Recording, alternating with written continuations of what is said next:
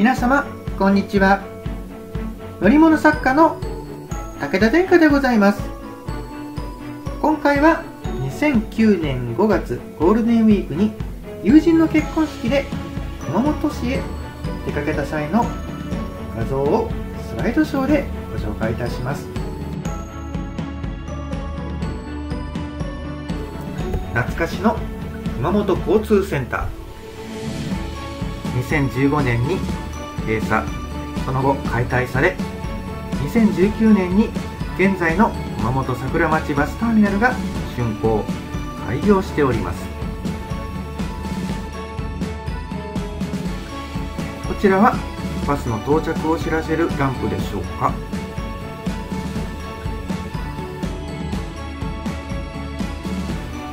北九州市へ向かう銀南号と福岡市へ向かう日の国号のびでございます。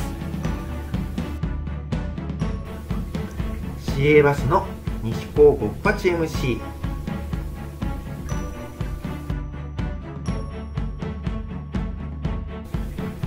こちらは熊本バスさんですね。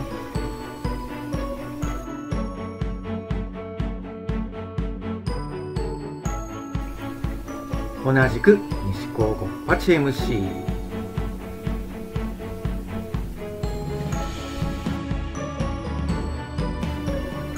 構内に大きめの時計と縦信号が備わっております。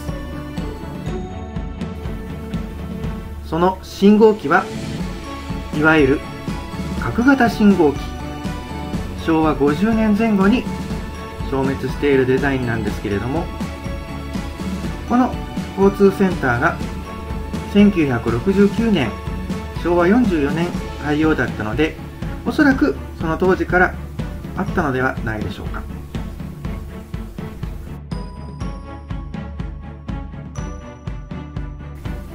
交通センターの構内にはボーリング場やホテルもあったそうです。続いては熊本駅の近くでバスや市電タクシーなどを撮っております。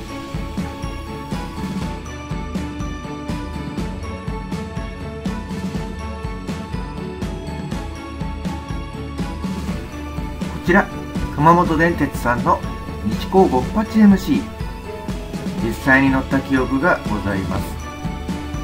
具体的にどこから乗ったのかは忘れましたがおそらく熊本城に行ってその後駅の方へ向かうのに乗車したと思います。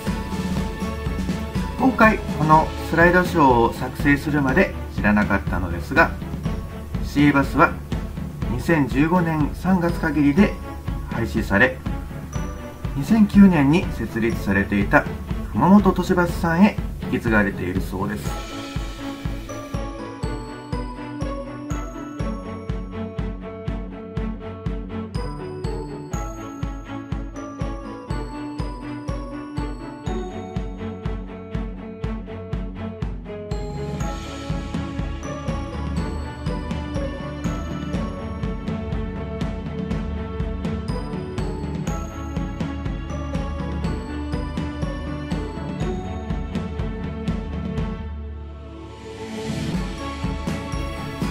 熊本城周遊バス白目グリンの本拠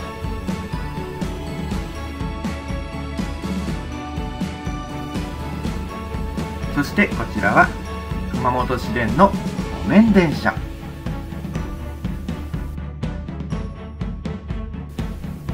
熊本駅構内タクシーさんのコンフォート。武蔵の文字に惹かれました。というわけで2009年5月の熊本訪問は以上でございます。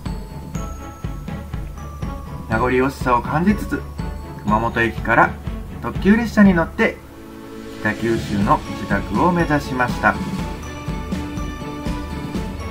今回もご覧いただきありがとうございました。では皆様ごきげんよう。Thank you for coming my channel. Goodbye.